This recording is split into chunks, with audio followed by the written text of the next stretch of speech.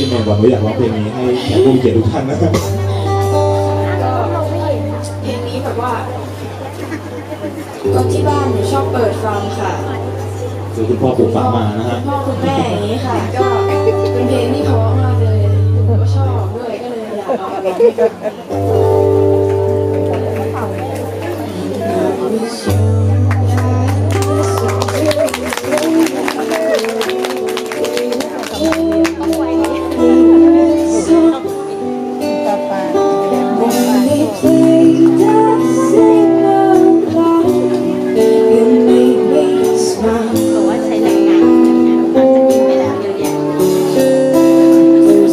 ร